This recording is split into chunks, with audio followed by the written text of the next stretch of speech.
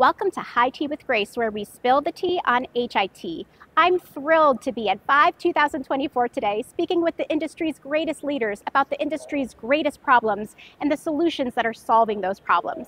I'll also be learning about leadership strategies that keep these leaders at the top of their game. All right, tee up. Absolutely. It's so great to be here with you, Grace. Um, it's always a pleasure, and Vive is such a great venue to be at. My name is Cindy Gaines, and I am the Chief Clinical Transformation Officer for Lumeon. I am a nurse, and um, been a nurse for almost 37 years. So I, I love healthcare, and I love I love nursing, and I'm so happy to be part of Vive. Thank you so much for joining me today. So tell me a little bit about what you feel to be the industry's greatest challenge.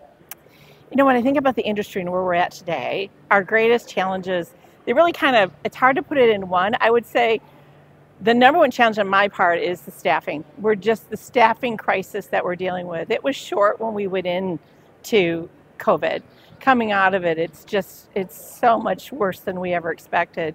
You know, we saw this coming when I was working leading magnet organizations 15 years ago. We were planning for when our nurses were, were going to retire. Our average age at our hospital at that point was 48.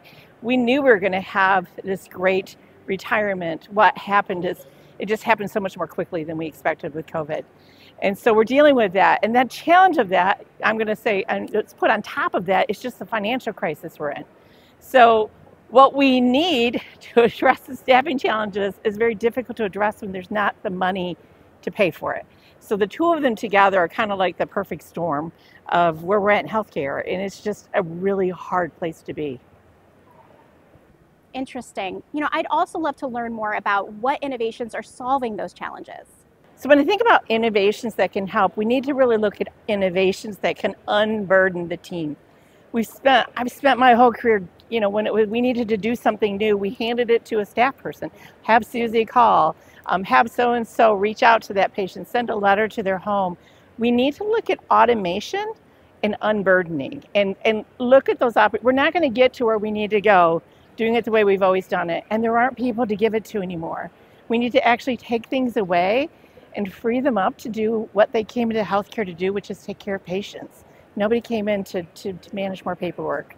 So let's unburden them and let them take care of patients and, and, and work with their passions.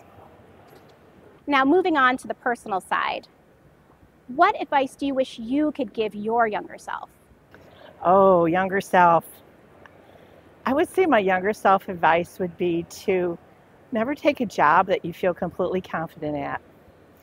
Um, I early in my career, I, you know, you'd go to, I wanted to do something I was completely confident at, I felt completely comfortable with, and you never grow in that way. And so always take a job that's a little bigger than you, that you kind of question, can I really do it?